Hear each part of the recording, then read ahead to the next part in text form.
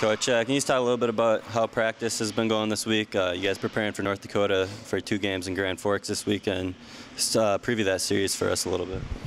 Uh, well, practice-wise, we've been doing some some good things in practice. You know, it's uh, towards the end of the year, so there's a lot of minor tweaking to your systems to trying to prepare for your your opponents. Uh, North Dakota's got a terrific team, and we need to make sure that we take away their attempt to take away their strengths and and and try and play our game at the same time.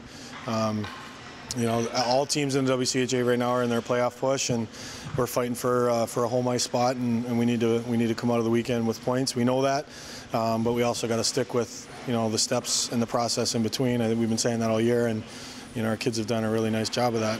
So um, that's kind of the plan. When going against a team like North Dakota, um, they have uh, quite a few pretty talented offensive players. A lot of their scoring comes from uh, five or six girls towards the top. What do you, what kind of strategy defensively do you go at a team like that? Um, well, I mean, first of all, is acclimation, you know, and I think that having played the Gophers last weekend and have so many talented players certainly sets us up from a schedule perspective to be able to have seen good players.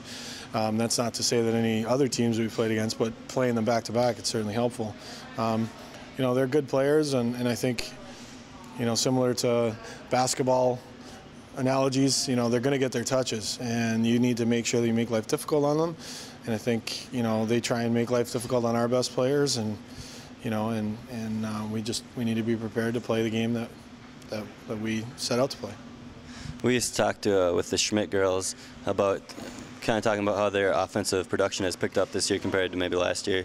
Um, can you talk about what maybe they're doing differently this year on the offensive end and what it does for a team when you get points from uh, on your defense? Well, I, you know, at, at, all levels of hockey, it's difficult to score, and you need all five players, and they're certainly able to contribute um, both in transition play, getting us out of the zone, but also in contributing point production-wise. Um, I think last year was a learning curve for them, getting adjusted to the, the speed of college hockey and, um, and, and really seeing what their opponents are like and what they can what they can do and, and how far they can take their game. This year, I think they've been more eager to shoot the puck. I think they've uh, played with a ton more confidence than they did last year. I think the last eight games last year, we started to see some signs of what they're doing now and uh, proud of them. I'm glad they're they're progressing. They're still the, the, the, scary thing for them is I believe they can be even better than they are right now, and uh, and I'm excited to see that. All right, thank you, coach, and uh, good luck this weekend. Thanks. More defenders, Kari and Sara Schmitt. Uh, you guys last year you had 15 points combined, and uh, this year you already have 42 combined points. You're both uh, top 20 nationally in points for defensemen. Can you just talk a little bit what's contributed to your success on the offensive end this year compared to maybe last year?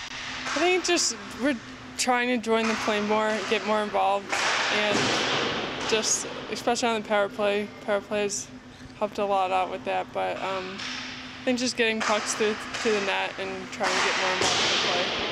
Yeah, just joining the play and being more an offensive threat. You guys have uh, at North Dakota this weekend, your last road series of the year. Um, what what sort of uh, what kind of play you guys are gonna have to bring defensively, especially against a talented offensive team like North Dakota?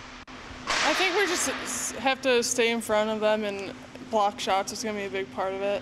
Um, we have to go in there and we have kind of like revenge from them from last year because it didn't turn out very well back when we went there last year. So just stick to our game, but block shots and don't let them have their opportunities. When they have players like the Lamoureux girls and Karvinens, uh, do you have to know where those girls are at at all time out on the ice? Yeah, you have to be aware of what they can do, especially because if you don't, they can hurt you if you're not aware of it. So you just have to know where they are on the ice and just not let them get space. And lastly here, uh, there's two more series left in the season. You guys are fighting for a home playoff spot for the first round. Uh, how big are these points the next two weekends here? They're huge. They're obviously really big, yeah. so we get home ice advantage in playoffs. So we have to come ready to play for the rest of the season. Yeah. All right. Good luck this weekend, girls. Thank you.